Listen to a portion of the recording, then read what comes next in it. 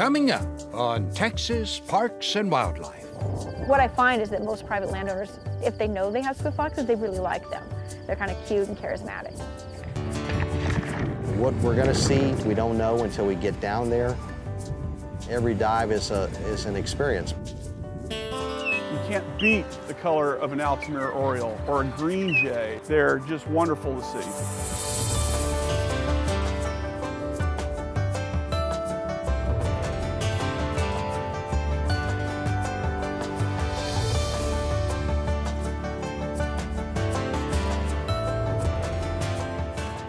Texas Parks and Wildlife, a television series for all outdoors. Hi, I'm Carter Smith, the Executive Director of the Texas Parks and Wildlife Department. I'm delighted to welcome you to the 36th season of the Texas Parks and Wildlife television show. For decades, this program has taken viewers all across our home ground to help showcase the lands and waters and fish and wildlife and parks and places that help make Texas so special. Enjoy the show. All right, buddy. These researchers are transferring a wild animal from box trap to bag. Keep going. They can't really see it, Come on, buddy. but this critter is always hard to see, especially in Texas. Down here in the southern part of their range, the densities appear to be pretty low. What I'm trying to do is get his head in the corner so that it's easier to grab without getting bitten. There we go. This is one of the smallest species of the wild dog family in North America, a swift fox. And these researchers are happy to find it in good health on this lonesome prairie in the far north panhandle.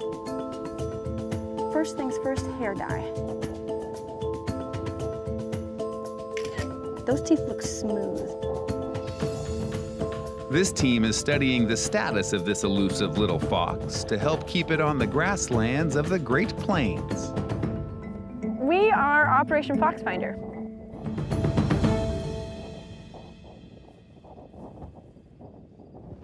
Okay, guys, your maps are ready. My name's Donnie Schwalm. So here's camp. My job description is research associate I'm gonna go a little bit further and the road bends, at the Department of Fisheries and Wildlife at Oregon State University. but try and stay south of the road. We're looking for swift foxes. There you go. Very cool. Okay. Appreciate it. We're working with Texas Parks and Wildlife to survey for swift foxes in a nine county area in the Texas Panhandle that falls within the historic distribution of this species. This species, from what we can tell from historic records, was almost gone. We know for sure there's been a big decline historically. About 50% of their historic distribution now no longer has swift foxes, and where they do still exist, the population is kind of patchy, so it's not very continuous.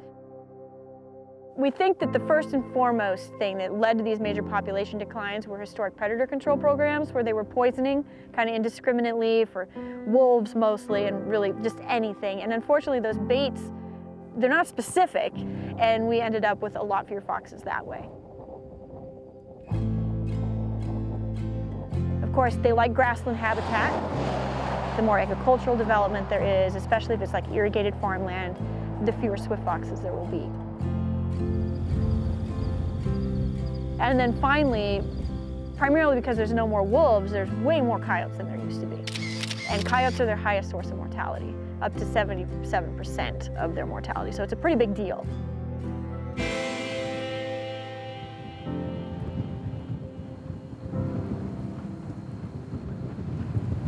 Habitat in the Texas Panhandle tends to be centered in like the National Grassland System, right along the Oklahoma and New Mexico borders. And then quite a bit of private land too. There's a lot of cattle ranchers that have good habitat. They want that short vegetation.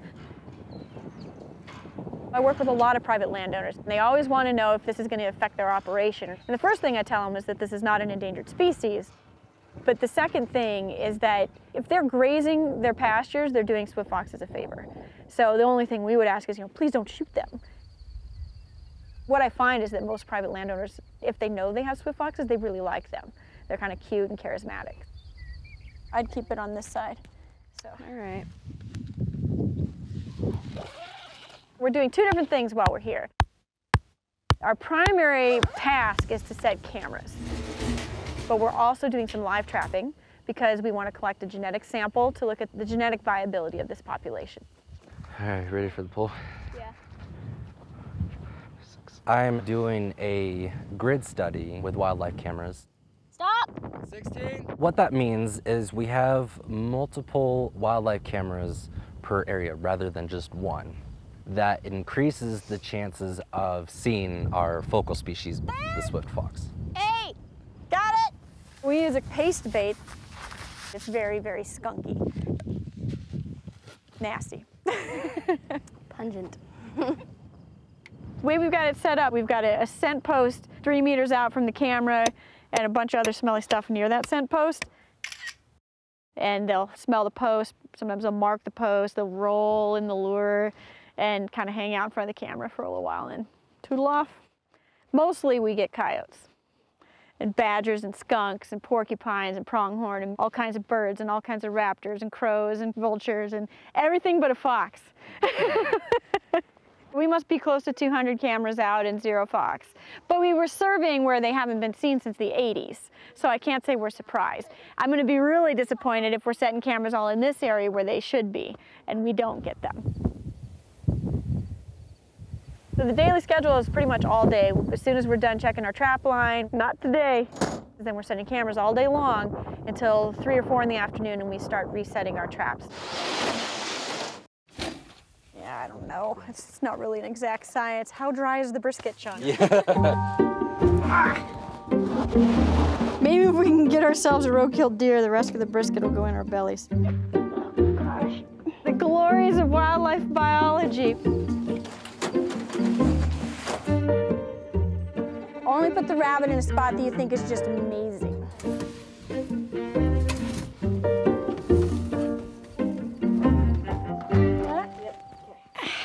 Let's get some foxes and boxes.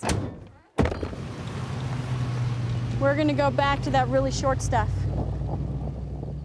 So this is a really exciting place to set traps. The vegetation is almost like a golf course. They like it six inches or less, and this is probably some of the best stuff that we've found so far, uh, since it's a wet year. Maybe Everything's so tall. here. Okay. There we go. You got all the GPS and stuff? Okay, we're done. I think we've got a good chance of a fox. Still no fox sign though, which is a bummer. Lots of coyote tracks and some coyote scats. So we'll see. But put our last two right around here. There's a little prairie dog town over there and some trails. So fingers crossed. I'm excited. We got enough sunlight left to get home in time to cook something instead of just eat cold soup.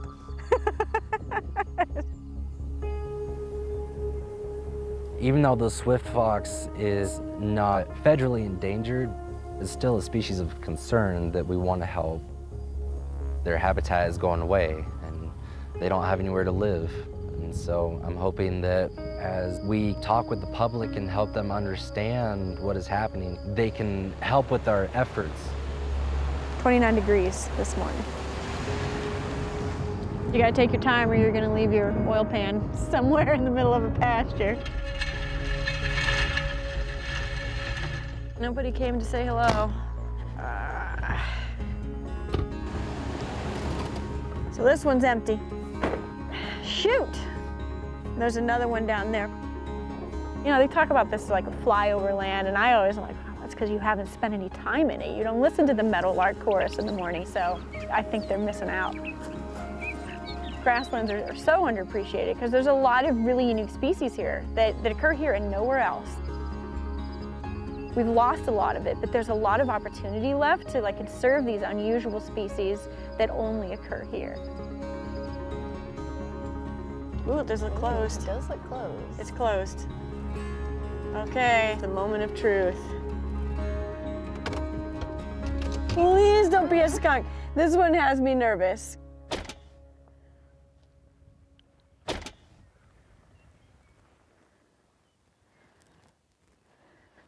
a fox. it's a fox. And he tore part of the plastic off the trap so I could see him. All right, we got one. Let's text the crew. To be able to see one in hand is really rewarding. You're really surprised at how small they are. 2.3 kilograms. Female? It's like the fox's version of alien abduction. Probed and prodded and measured. Two inches. To keep the eyes covered, they stay kind of calm, and there's no evidence it affects them in the long term. I want to help fix things. I want to work with the landscape, I want to work with the landowners to see if we can like put some things to rights where we can, and, and swift foxes provide that opportunity. to like put something back on the landscape and restore the species, and they're a neat little animal. All right. They're tough little guys, and I can appreciate that. That's the best part. Turn them loose, and they always put on a nice little show. Away I go, back to life.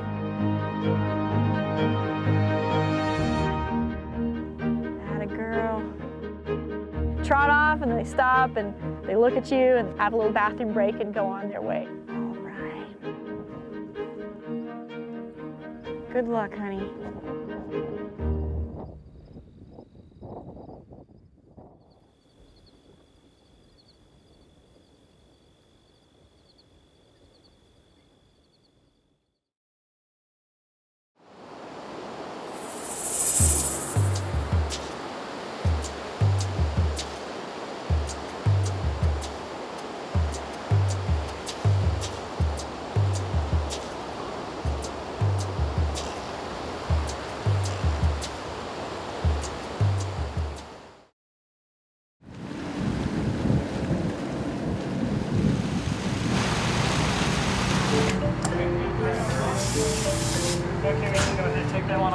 In the Gulf waters off the Texas coast, these divers are on their way to visit an artificial reef. What we're going to see, we don't know until we get down there.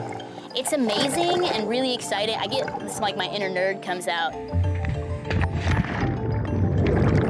Not just any reef, it's an old ship called the Kraken that's quickly becoming a new Texas legend.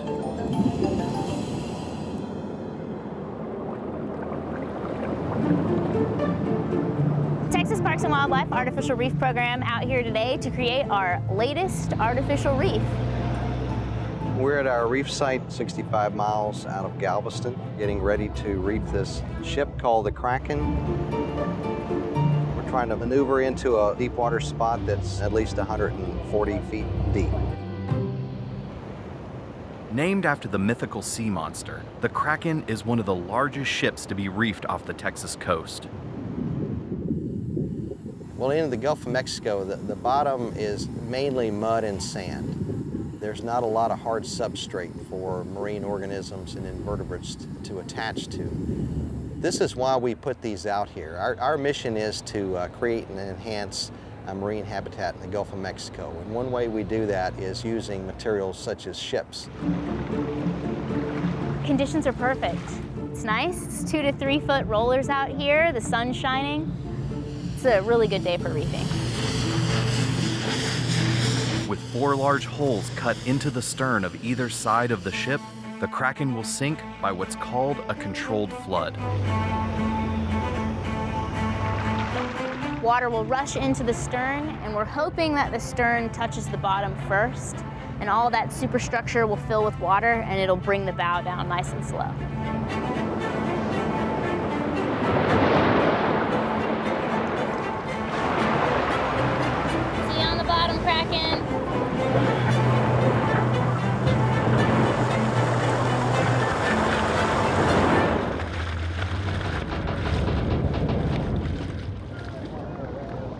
That was beautiful.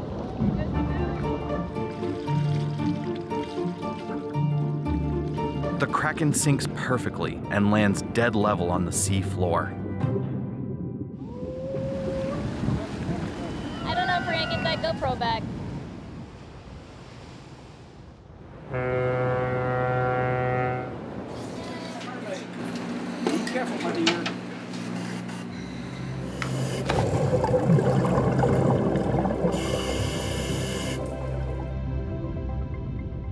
It's been seven months and it's coated.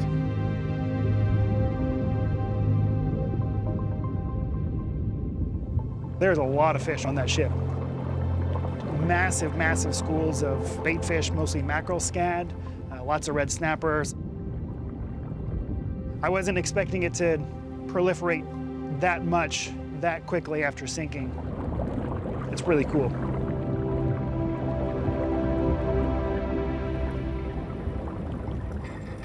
It only takes a, a few months to get a significant amount of marine growth.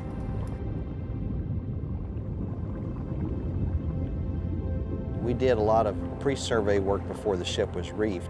Found uh, a couple of sharks and not much of anything else. No red snapper, no other reef species. And now it's just teeming with marine life.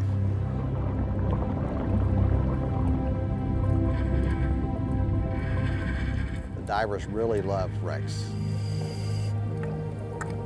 Every dive is, a, is an experience because even if you've seen the wreck before, you're guaranteed to see something different each time you go down.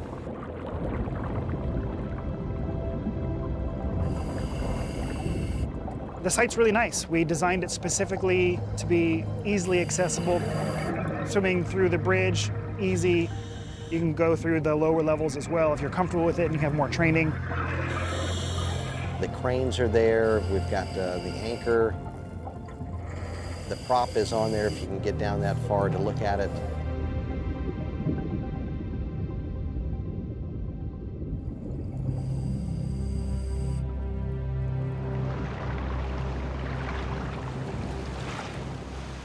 Back on the surface, the team has more work to do. We're doing vertical longline fishing. We catch a, a number of different species, but most of what we're catching is red snapper. We want to know the age of the snapper that are living on these structures.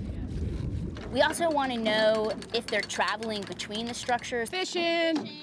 We'll drop one line at a time. We soak it for five minutes.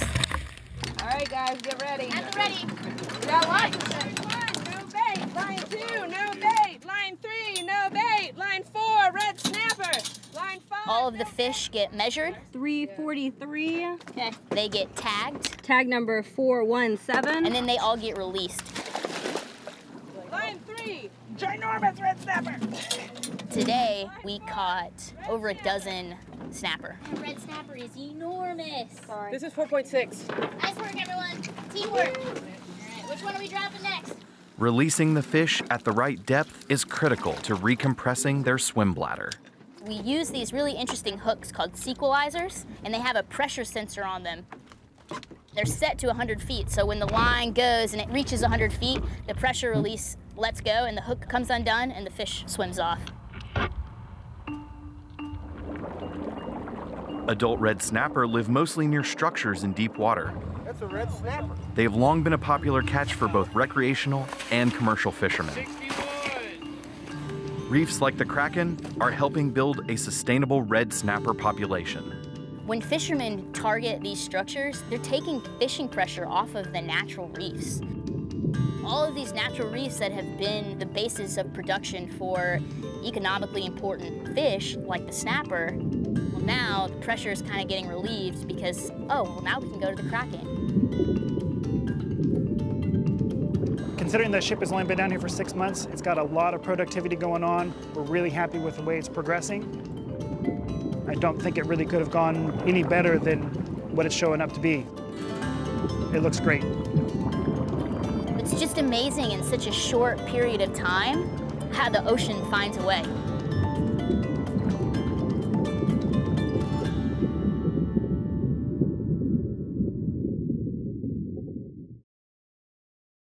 Wish you could spend more time with nature? Well, every month you can have the great outdoors delivered to you. Since 1942, Texas Parks and Wildlife magazine has been the outdoor magazine of Texas. Every issue is packed with outstanding photography and writing about the wild things and wild places of this great state. And now, Texas's best outdoor magazine is available as an app. It's just that easy. Texas Parks and Wildlife magazine. Your connection to the great outdoors.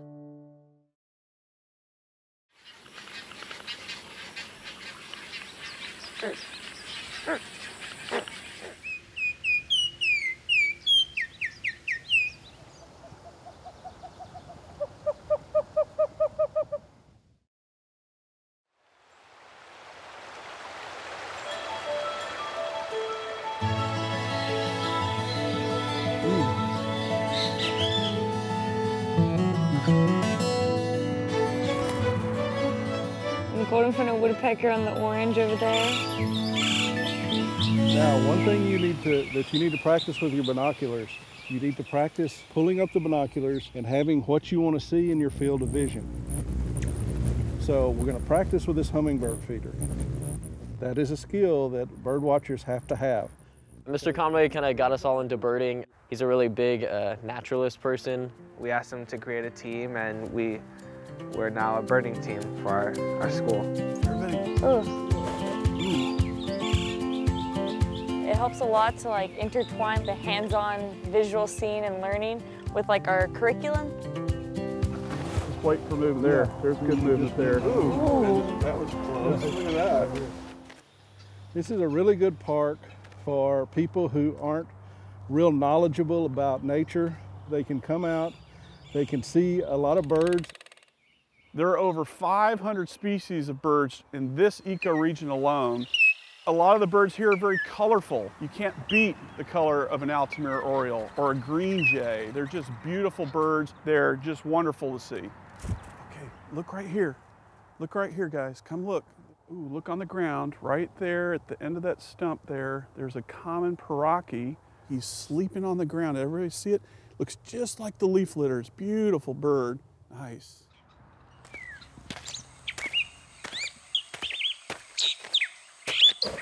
We invite them to come in and enjoy themselves for breakfast in the morning. I'm Paul Love. I'm a, uh, just a volunteer here with the Audubon Society. They give me funds to purchase feed for the birds.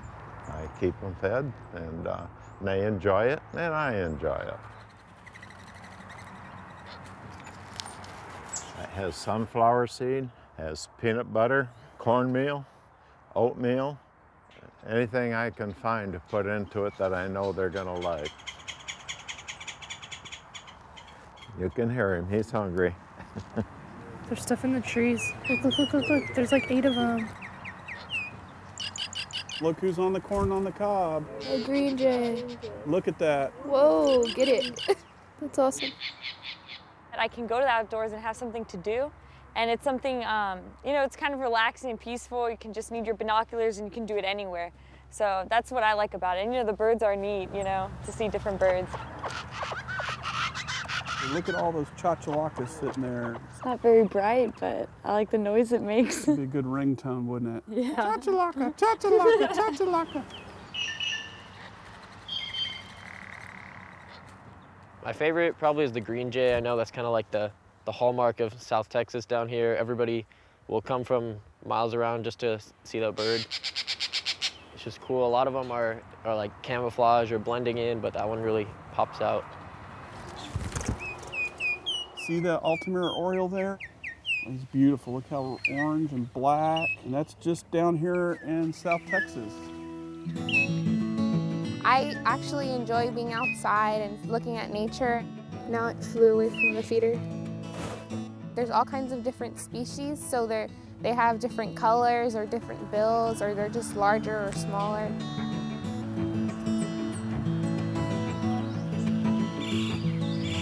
Oh, on this right hummingbird feeder is another golden fronted woodpecker. You see it? Yes. Drinking that sweet nectar. When you see the top of the head, see that little red top, red spot on the top of the head? That's a male. That's pretty clever. Wow, there's a lot more birds than I like realized. So now I'm like looking at birds more, I guess, than I had before. So it's it's fun.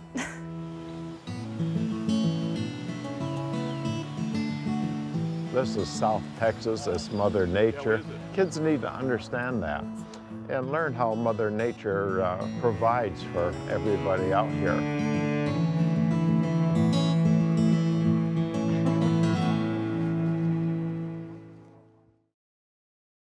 That's our show for this week. We hope that you've learned a little bit more about the wild things and wild places of Texas. Thanks for watching.